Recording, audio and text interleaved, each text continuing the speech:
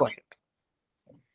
Dear Heavenly Father, we come to you under the name of Jesus. We thank you for this day. We thank you for the beautiful class we're about to have. God, we pray that uh, we'll open our mind and heart and listen to every word that Pastor teaches us so that we will know uh, how amazing are your works and how you have created us and what we have to do on this life, Jesus, so that we can shine brighter for you, Lord. I pray for all my classmates.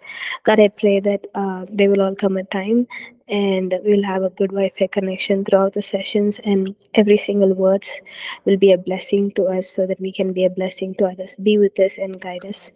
Let everything we do be done for your glory. In Jesus' name. Amen. Amen. Amen. Thank you. Yeah, we'll get started.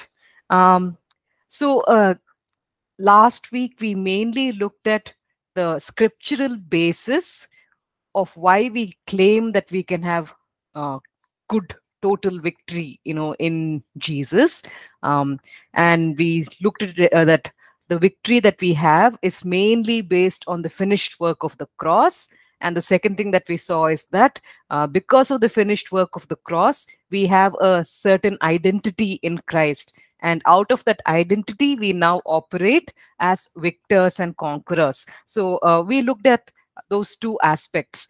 And um, then we just had a very brief introduction uh, to uh, how, because we are um, because of our new identity in Jesus and because of the finished work of the cross, how we can actually start using this uh, to live a victorious life. And we just had a small introduction to using the word of God in overcoming. So uh, we just looked at one scripture last week, First Peter 2 verses 2 and 3, where we looked at how newborns, uh, they crave for milk. Uh, that that that desire is a very deep desire that they have because now they have understood that when they whenever they have the milk uh, you know it takes away that feeling of hunger that feeling of emptiness. And so they begin to cry for it. They begin to crave for it. And um, we too are asked uh, to you know abide in the word of god in that way crave for it in that way. Why? Because um, uh, we, we saw in first um, john that these mm, um, the, these believers yeah first john 2 14 in first john 2 14 the young men who are being addressed in first john 2 14 they are people who are able to overcome uh, satan. Uh, how by allowing the word to abide in them. And uh, so we looked at the connection. We saw how if we too have a deep craving for the word of god then we would spend time um, you know meditating on the word of god. Then the word of god would be able to richly abide in us. And because the word is abiding in us uh, uh, you know it would come out of us whenever uh, a situation requires it so uh, we saw all of this in the very very brief introduction that we had last week. So now just to look further uh, into this whole concept of how the word of god can be used uh, you know in our living a victorious overcoming life. So um, the first point just you know continue upon the first point where we uh, we said point number one is feeding your inner person with the word. And in that context we were looking at all of these verses. Uh, so just to look at uh, look further into that um, it, it, it says um, you know in first peter 2 2 to 3 uh, like newborn babies crave pure spiritual milk so that by it you may grow up in your salvation now that you have tasted that the lord is good. So the reason that uh, the believers are being asked to absorb the word of god uh, to consume the word of god is so that they can grow up in their salvation. Um, now if we if we are thinking of salvation just as the salvation experience uh, where jesus christ has now you know um, forgiven us and we have been uh, regenerated into a new uh, creation by the Holy Spirit. If we are thinking just in terms of that, then it will not make sense. What does it mean by growing up in your salvation?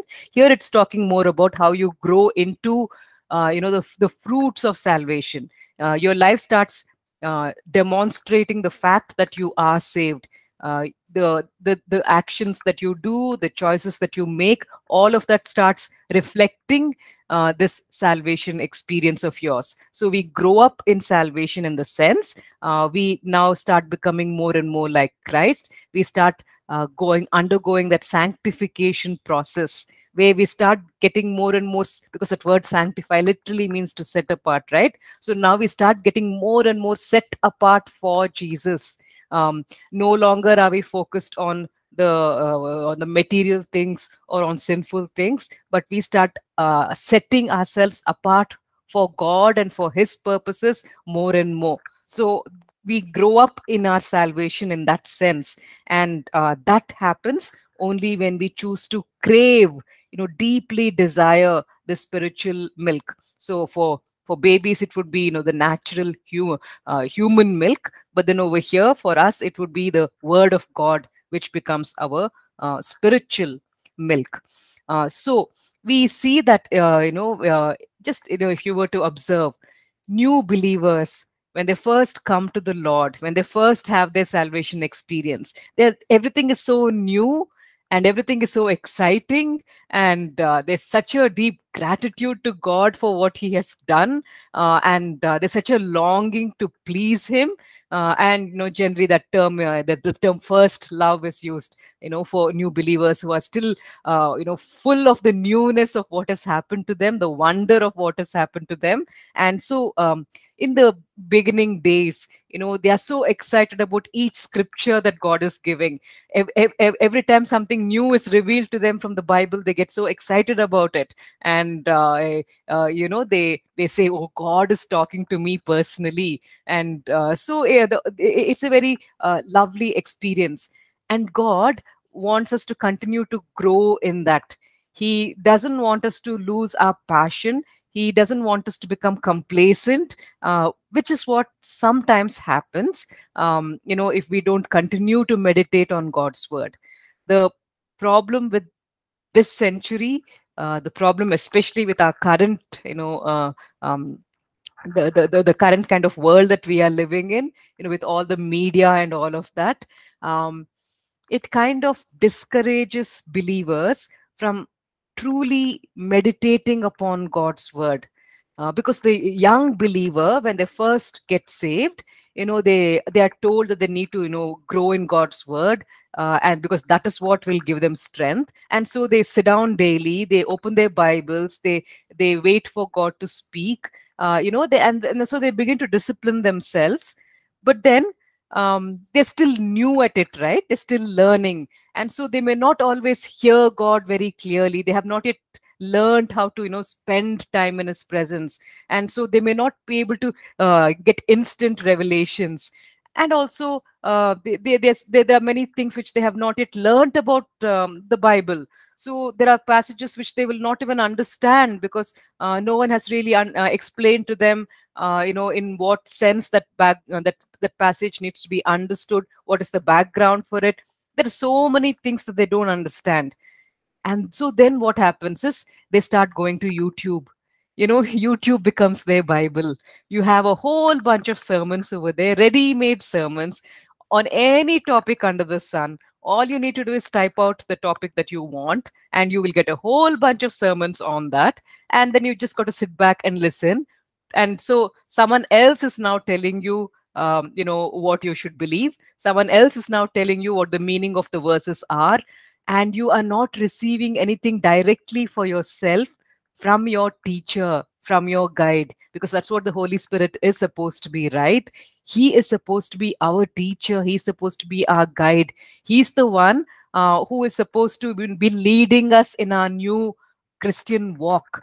But now what is happening? Some youtube preacher somewhere has decided that you know he's going to preach on this particular topic and he's going to you know bring out these particular aspects of that topic now are those particular aspects of that topic relevant for this new believer?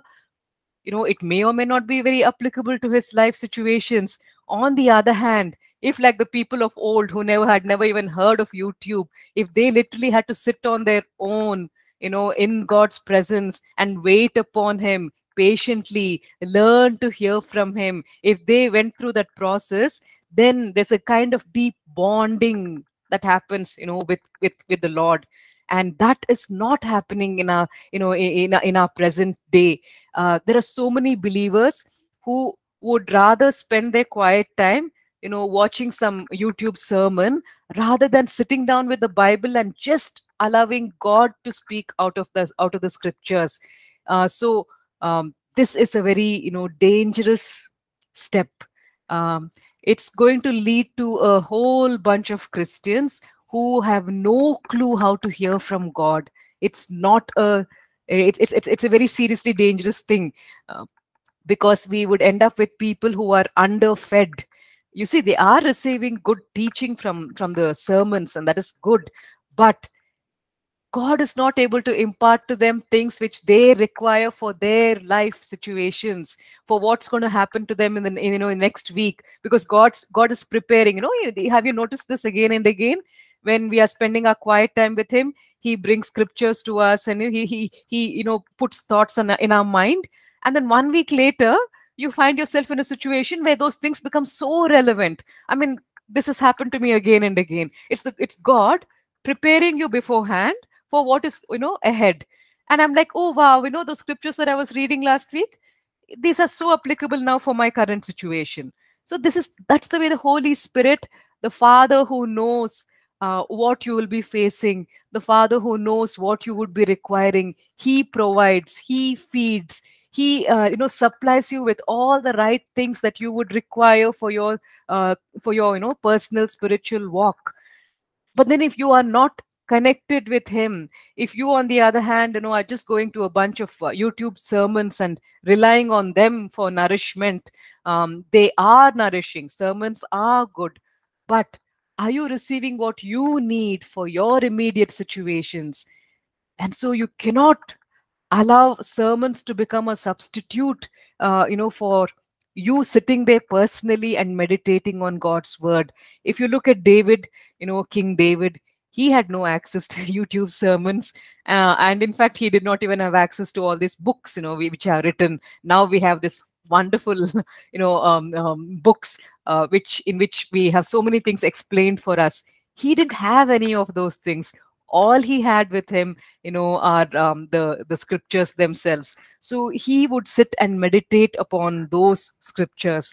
And this is what you know uh, david says in psalm 119 11 to 16 and i would like us to really you know um, focus on these words even as we are reading them psalm 119 11 to 16 and i want you to think about uh, how David was meditating on scripture, why he was meditating on scripture, you know, um, based on what he's saying over here in these verses about, you know, meditating on scripture and learning from it, receiving from it. What is he saying about, you know, the importance of meditating on scripture in these verses?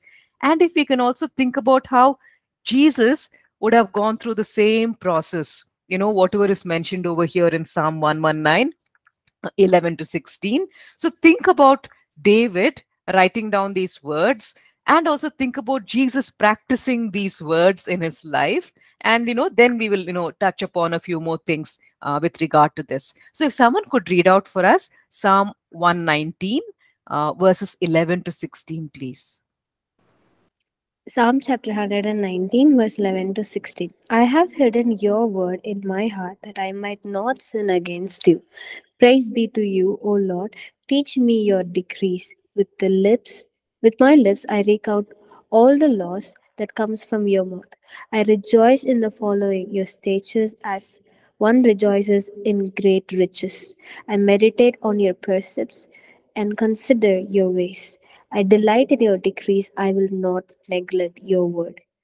Okay, so here uh, we see David saying, I have hidden your word in my heart that I might not sin against you. You know, no one is told beforehand, okay, at so and so time tomorrow you will be facing temptation. Temptation comes when it comes. You know, so we should have already hidden the word of God in our hearts. And then when that time of temptation comes, then we are able to immediately act upon the word which we have hidden in our hearts. And you know, so which is what we see Jesus doing, right? when he went into the wilderness, he had already spent years hiding the word of God in his heart.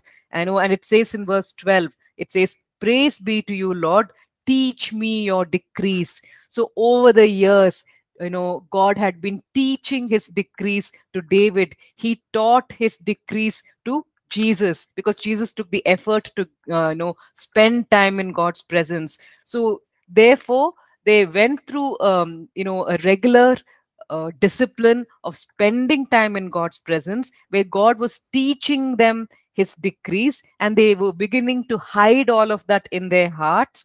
And so, when the time came, it says in verse 13, With my lips I recount all the laws that come from your mouth. So, when the time came for them to open their mouth and, you know, say all the things which God has been putting inside them, they were able to instantly do that. Jesus Christ, when he was attacked, when, when there was temptation uh, which came upon him, he was able to open his mouth and recount what you know had been hidden in his heart because um, he had spent time considering God's ways. See, that's that's what it says in verse 15. It says, I meditate on your precepts and consider your ways. So David, Jesus, and all of these other people who valued God's word, they would sit over there. They would consider what is being said in God's word. They would try to understand why God was saying what he was saying. How can this be applied to our present life situations is what they would have sat over there and considered. So they would have thought out these things. And so, you know, when Satan comes along and says, you know, why don't you worship me? Jesus has already been thinking about all of these things. What is worship? Who should be worshipped? Why? Why? What is the purpose of worship? Why? I know. Why are we humans called to worship? He's already considered all the things that you know on that topic. So when the temptation came, he knew what to respond he knew what to say because he's already had has spent time meditating upon the precepts of god and considered his ways and uh, so it says in verse 16 you know david says i delight in your decrees I will not neglect your word. You know, just to take one sample of the you know of these temptations that we are talking about, uh, the temptations of Jesus. Uh, if we can, you know, just go to Matthew chapter four, verses five to seven we will just you know look at one one particular temptation. Matthew chapter 4 verses 5 to 7 if someone could read out.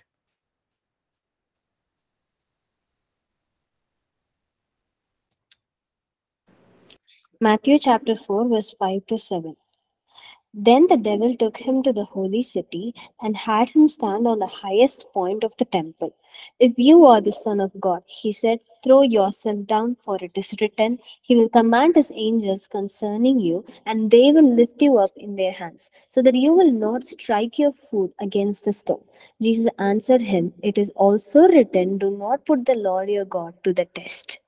Okay, so over here, um, the devil takes him you know um, maybe it was through a vision maybe not physically you know but he he jesus kind of sees himself standing over there at the pinnacle of the temple.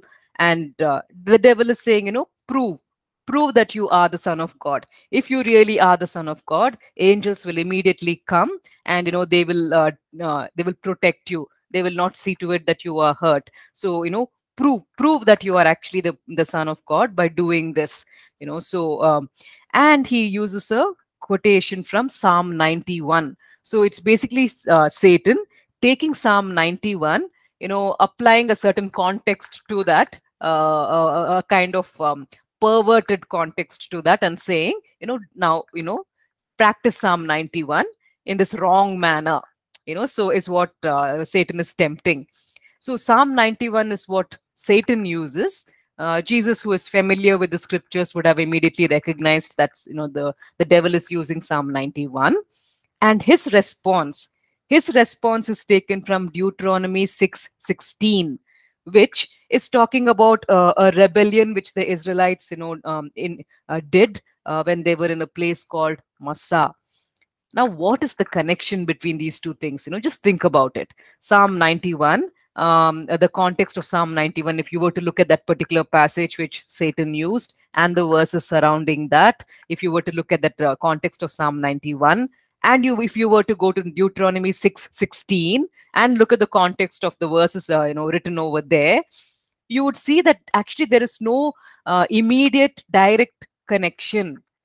So why did jesus use this particular verse you know to uh, to uh, to fight satan and we see that this verse that jesus used was so effective that satan had nothing more to say. You know he had to just move on to the next temptation. He he he could not fight back. Why was this particular verse so effective in dealing with the temptation uh, which which satan had uh, you know um, brought using uh, psalm 91 in the wrong context?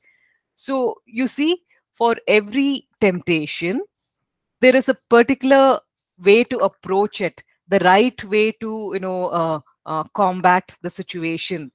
And because jesus was in tune with uh, you know with his father because he was familiar with the scriptures the lord gave him the correct words to speak. And in this particular context even though we cannot see a very direct connection between psalm 91 and deuteronomy 6:16 this was the correct weapon to use. This was the right sword of the spirit to use on this particular occasion. You know so um, which is why uh, some believers you know they kind of try to draw a distinction between logos and rhema both the word logos and the word rhema basically mean words speech uh, you know talk. So those are the those are the that's the basic meaning of both logos and rhema. So some people that they you know they say rhema is basically god telling you uh, the word for that particular occasion something that will be effective for you on in that particular situation which you are facing you know. So um so for every situation that we face uh, you know every challenge that we face there are specific scriptures which would be most effective for that particular situation.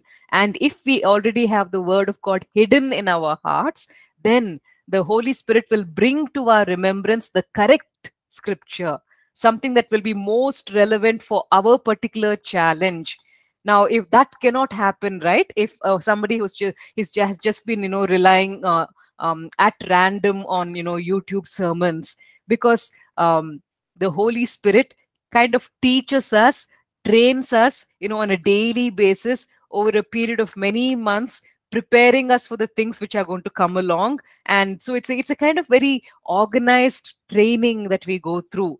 You know god knows what to teach when uh, what uh, wisdom to impart when.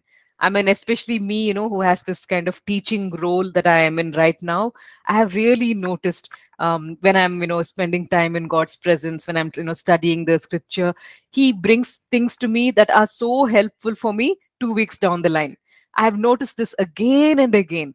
It's like he he he of course knows the future. He knows what i will be requiring when and beforehand he gives me those things which i will need in my hands.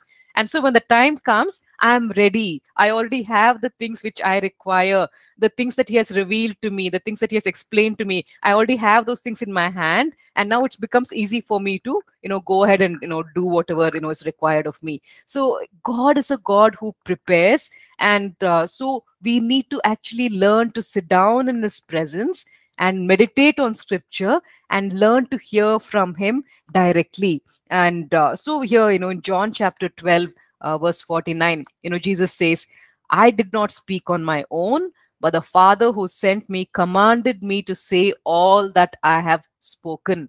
In the same way you know david also says in psalm 119 verse 13 he says with my lips i recount all the laws that come from your mouth you see whatever you have taught me whatever you have you know imparted into my heart those are the things which i am now opening my mouth and recounting.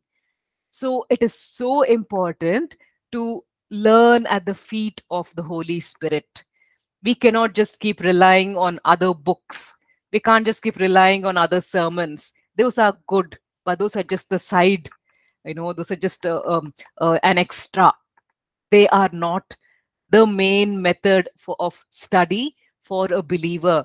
The main method of study for a believer should be at the feet of the holy spirit where he directly speaks to you shows you what scriptures to you know focus upon. He shows you uh, he opens up certain things and, and and explains those things to you because those are going to be relevant for you in your spiritual walk so that is when the word of god becomes a sword an effective sword which you can uh, use. Uh, so in the process of doing this we start being becoming familiar with the voice of the holy spirit.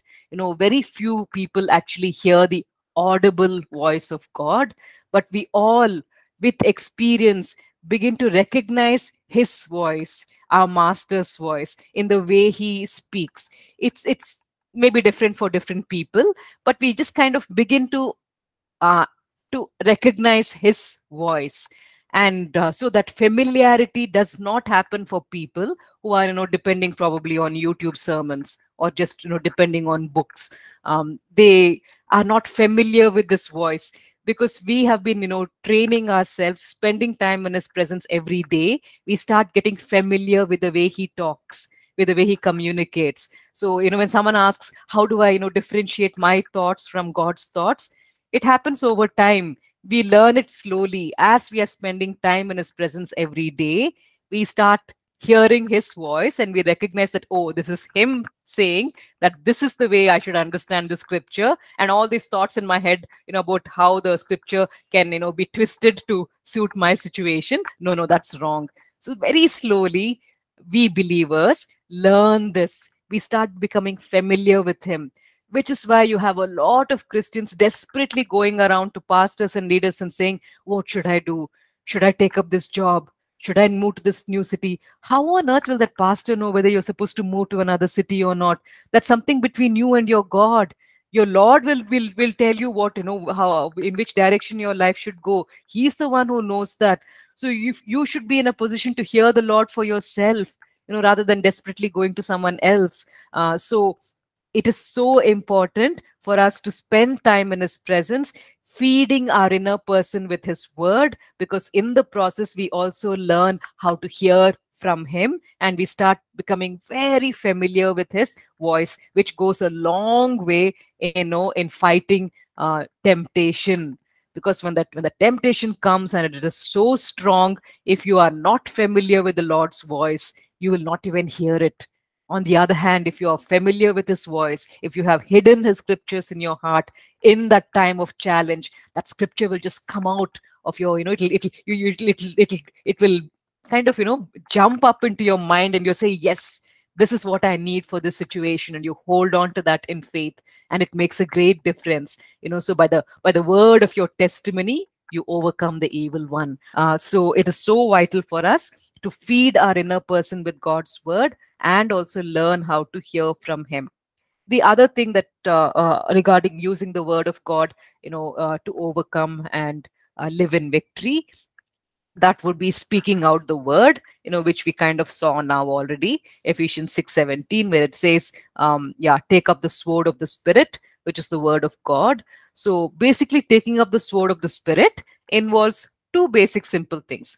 First of course is that we choose to believe what the word of god is saying rather than what rather than the temptation which satan is bringing rather than the lies that he wants us to believe we choose to believe what god's word is saying. And the second thing of course is that we don't just believe in um, thought we actually believe in action. We act out what god's word is saying and show that yes see i'm acting out what god's word is saying because i believe what he is saying. You know so i'm not going to give in to what you are saying satan. I will not give in to your temptation but rather i'm going to believe and practice what god's word says. So uh, so the sword of the spirit it's uh, not a very complicated uh, weapon to use uh, all we have to do is believe what the scripture is saying and we need to practice what his word is saying so rather than give in to the temptation we choose to stand on God's word. The third one, um, the, uh, the third way that we would use the word, you know, in living an overcoming life is, of course, by renewing our minds. Um, because as we start meditating more on scripture, our thinking gets aligned with God's thinking. And uh, so when we when we do that, then we discover um, that what God's will is for us. You know, that which is what we see in Romans 12 too, where it says, Be transformed by the renewing of your mind. Because you know, it says in the next sentence, it says, Be transformed by the renewing of your mind. Then you will be able to test and approve what God's will is, his good, pleasing, and perfect will. So, as you choose to renew your mind, you start getting transformed you start thinking the way God thinks, and you start living according to His will. And as you start living according to His will, you discover that His will is actually very good, pleasing, perfect, that your life is going in the way it's meant to. And then you realize, oh my, you know, um, now that I have tasted of the Lord, it, uh, you know, the, the Lord is really good. So then once you get the taste of the Lord, then you will crave more for him. So you see it's like a cycle. You start off by choosing to spend time on a scripture. As you do that your thinking starts changing. You start thinking like him. The more you start thinking like him the more you will start living your life in alignment with his will doing what he wants rather than what your flesh wants or what satan is tempting you to do. So even as you start living more in line with his will you discover at a practical level that the things that he's been telling you to do are so good and pleasing and perfect and your life is moving in the right direction. And once you taste this and you discover that the lord is indeed good you will begin to crave more so it's like a cycle that you go through again and again as a believer. So we come back again to that first scripture you know which we started off where we say that like newborn babies we are craving for the pure uh, spiritual milk. Why? Because we have now tasted and seen that the lord is good. So yeah i think those those that should be enough you know um, regarding how to use the word of god uh, so the scriptures are mentioned of course in your notes. Uh, the explanation as such is not given but you have the all the verses over there in your notes. Coming to the next uh, chapter you know uh, in your notes that would be walking in the spirit. So we will spend some time uh, reflecting upon this whole idea of walking in the spirit. Now of course we are very familiar with this idea uh, but you know we'll try to touch upon maybe things which we generally you know don't um, think much about. Uh, so um, you know rather than dwelling on just the familiar points we'll also try to go a little beyond and see what we can you know what extra we can learn and how walking in the spirit can really lead to an overcoming life. Uh, so maybe we can begin by you know reading out um, that very familiar verse about walking you know, you know by the spirit. Um, that would be galatians 5 16 uh, if someone could you know read out galatians 5 16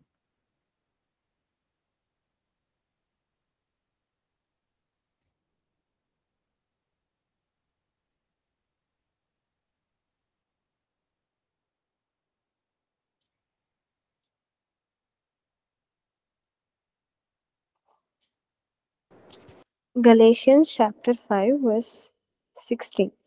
So I say, live by the Spirit, and you will not gratify the desires of the sinful nature. yeah. So we have the sinful nature asking us to do certain things and we have the spirit of god asking us to do certain things. And so we choose not to walk uh, according to what the flesh is saying but we choose to walk according to the spirit to what the spirit of god is saying. So walking by the spirit is something that simple where we make a choice to uh, to respond to what the holy spirit is saying rather than respond to what the flesh is saying.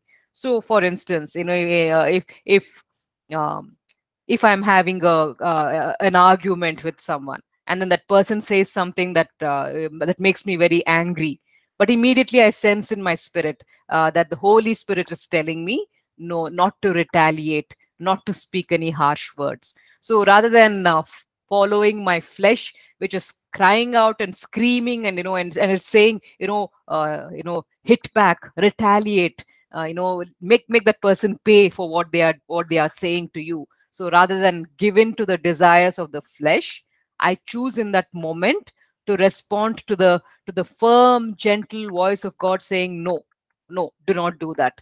So in that moment i choose to walk by the spirit rather than give in to the desire of the flesh.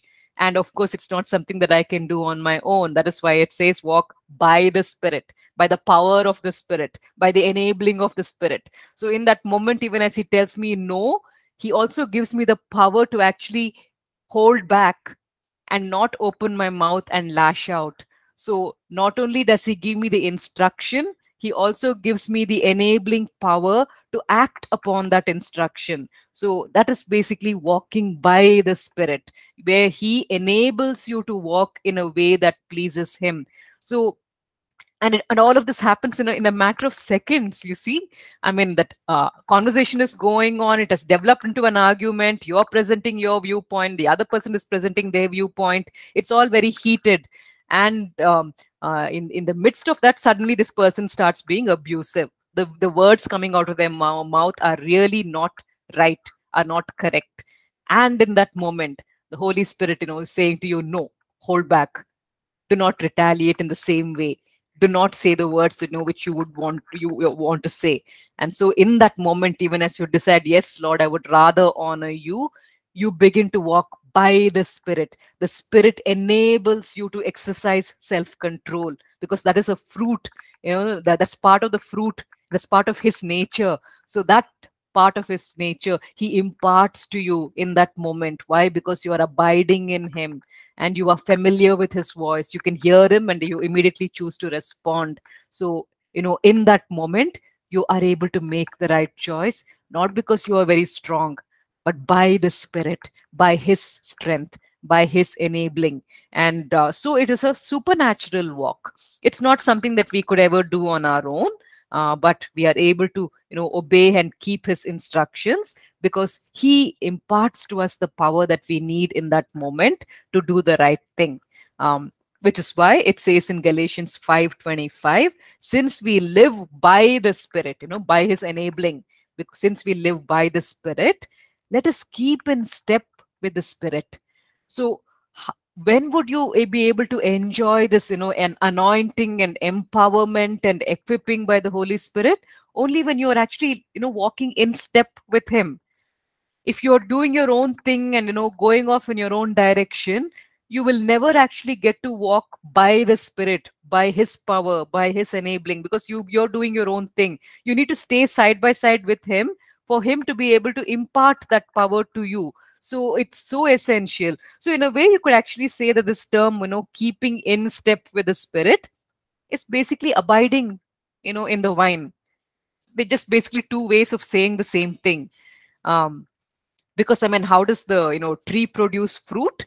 Um the branches I mean, in a, you know, in a, in a, in a kind of metaphorical sense, each day the branch decides, okay, I'm going to stay connected to this trunk so as long as the branch every day decides I stay connected to the trunk and not only not only just stay connected, I'm going to keep the connection strong between me and the trunk. So every day the branch decides that.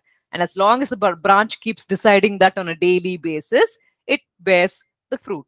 It doesn't have to worry about, oh, will I be able to bear fruit today? Oh my goodness, is the fruit going to come out today? No, it's just part of the natural process because it is maintaining its connection it's keeping the connection strong automatically when the time comes the fruit will just come. It's the same you know in the middle of that heated discussion. If i have really stayed connected with the spirit i am walking in step with him. I am trying to live in a way that pleases and honors him. I am spending time in his presence learning from his word. So automatically the connection is deep the connection is good uh, and so because i am walking in this way you know in step with him when that in that heat of that moment when that discussion is going on and that person starts getting abusive i will automatically not uh, you know uh, open my mouth and say anything. I will be able to exercise self control in that moment simply because that's the fruit coming out of my life. Why? Because i'm connected. So uh, we don't have we don't we don't struggle to produce the fruit uh, of the spirit. That is something that the lord produces in us. He gives us the self control we would need in in this particular situation. Uh, he he's the one who provides us you know with that love and that peace uh, and that gentleness and all of that. He produces in us. From our side what is our responsibility? That we stay in step that we stay connected that we continue to abide. So if we are doing that, when the time comes, you know, we, we will hear his voice, we will hear his, you know, a gentle word of instruction saying, no, do this. And we will be able to because we are well connected. So that's basically what it's saying over here. It says in Galatians 5:25, since we live by the Spirit, let us keep in step with the Spirit so that you know it's possible, so that the Holy Spirit can continue to do to do for you all that is required. And we see Romans 8, 3 to 9 saying the same thing. You know, it just says it in in, in um, a larger number of words, but it's almost the same thing that is being said. If someone can uh, read out Romans chapter 8, verses 3 to 9, please.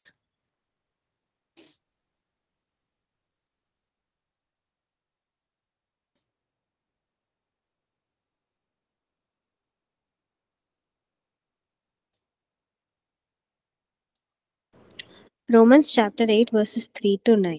For what the law was powerless to do in that it was weakened by the sinful nature. God did by sending his own Son in the likeness of sinful man to be an offering, and so he condemned sin in sinful man, in order that the righteous requirements of the law might be fully met in us who do not live according to the sinful nature but according to the Spirit. Those who live according to the sinful nature have their minds set on what their nature desires, but those who live in accordance with the Spirit have their minds set on what the Spirit desires. The mind of sinful man is death, but the mind controlled by the Spirit is life and peace. The sinful mind is hostile to God. It does not submit to God's law, nor can it do so. Those controlled by the sinful nature cannot please God. You, however, Oh yeah, yeah, yeah, yeah. Yeah. Yeah. So in these verses, we see, I know we the first portion we've already dwelt upon. We talked about it in the last class. You know, we uh, the law told us what we should do, but it could not make us do that. Why? Because we were being controlled by the sinful nature. And uh, so, what did G- what did God do? He sent uh, our representative, Jesus Christ, to be to know to be our perfect representative. So he was able to keep the entire law did not break a single uh, portion of it. And so he was able to condemn sin in the flesh. He was able to declare and say sin you have no control over me because i have not broken a single law of god. And so because he was able to uh, fulfill the law all of us who come under his covering we too are now removed from under the control of the law. And you know we are under his uh, covering and protection for such people what does he do? It says the righteous requirement of the law is fully met in us. You know god enables his righteous requirements to be fulfilled in us. So you know where the taking that example that we had of that heated discussion that was going on uh, where the other person starts to get abusive.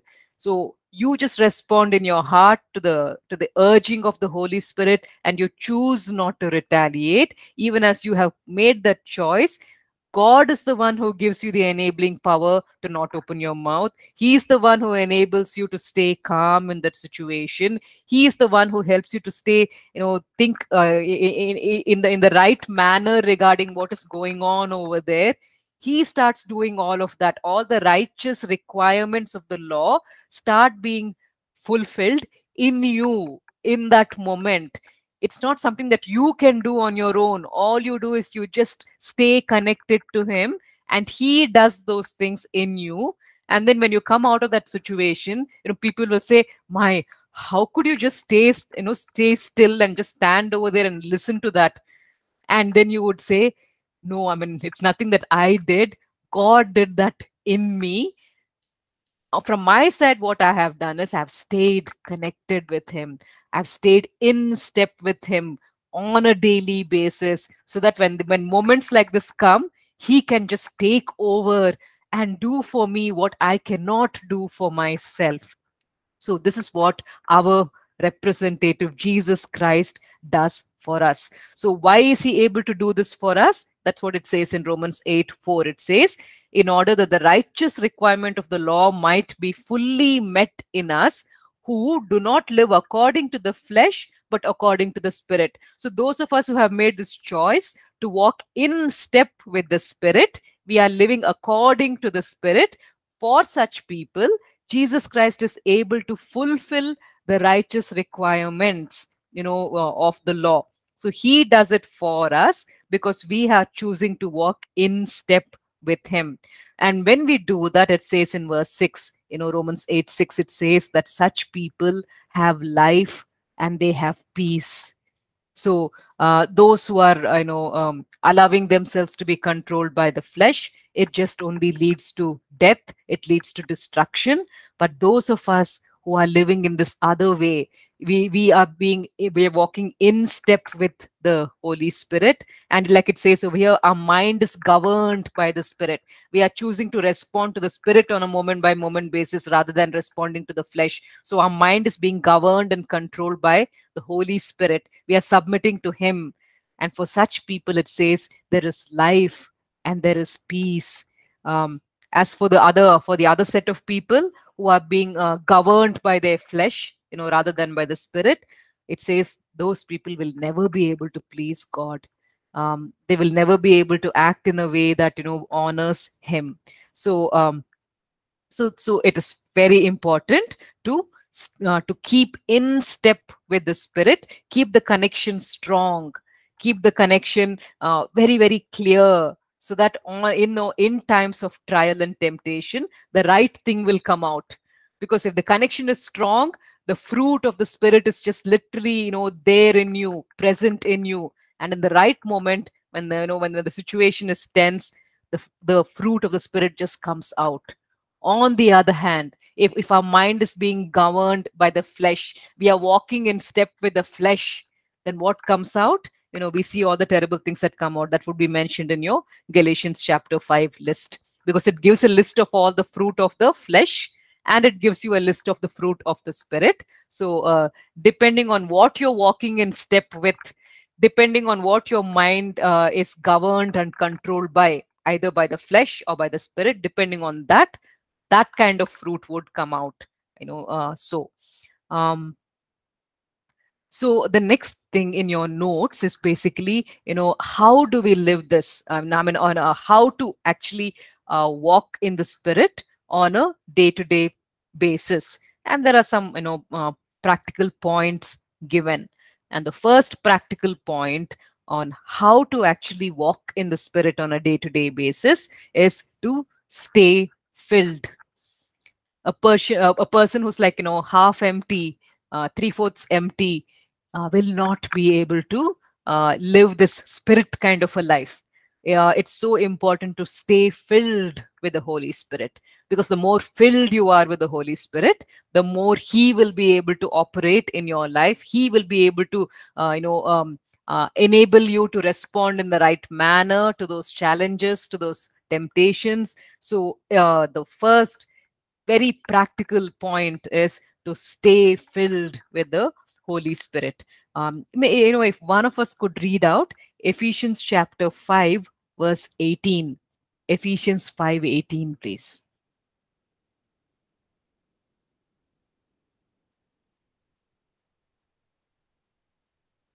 Ephesians chapter 5, verse 18. Do not get drunk on wine, which leads to debauchery. Instead, be filled with the Spirit. Okay, so there's a contrast being drawn over here uh, between between drunkenness and between being filled with the Spirit. So uh, there are many parallels that we see between th these two things. Um, you know, uh, for instance, a person who is, uh, you know, um, what drunk, uh, they are filled with wine. So if they are filled with wine, uh, it makes them see the whole world in a different manner you know when they are sober uh, when they are not drunk they see life in a particular way but once the drink takes over it completely changes their perspective. You know you have ha- they use the term happy drunk right? There are some who are happy drunks. When they are once they are drunk they are like you know very happy. Everything looks really good to them. Everything looks so rosy and wonderful. They feel like singing. They feel like dancing. So those are your happy drunks. And then you have your violent drunks. When they get drunk everything looks like you know deep dark red. There's this, this rage this anger they lash out. So the wine makes them see things um, completely differently. Everything looks different. So if you're a happy drunk and you're filled with wine you would find everything so rosy you know you would probably climb up on a table and start dancing. On the other hand if you're a violent drunk once you're filled with that wine everything you know is something which causes anger which triggers rage inside you and you lash out. So it changes your perspective of the way you see things. In the same way when you are filled with the holy spirit your entire perspective changes. Everything looks so different because now you are seeing through the eyes of the holy spirit and everything looks so different so it is so important what you are filled with. It literally affects the way you look at every single thing. It totally changes your very perspective.